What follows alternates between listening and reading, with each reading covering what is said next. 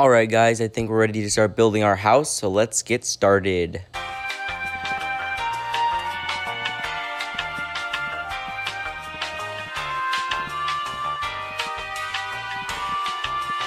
Okay guys, so I'm actually just getting some dirt for the rest of my roof because I ran out of wood. And boom. Alright guys, so now I'm going to be doing some mining off camera.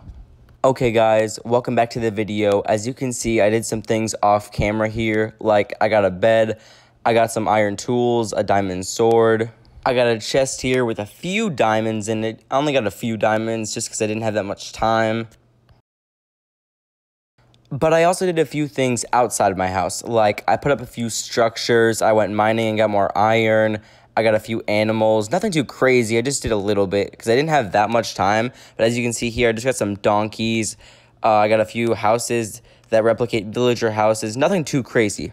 Oh yeah, you're probably wondering what this extra door in my house is. It's actually the entrance to my uh, real house. Yeah, as you can see, this is the inside of my real house. We got full netherite armor. Oh yeah, I forgot to mention, I beat the ender dragon 16 times.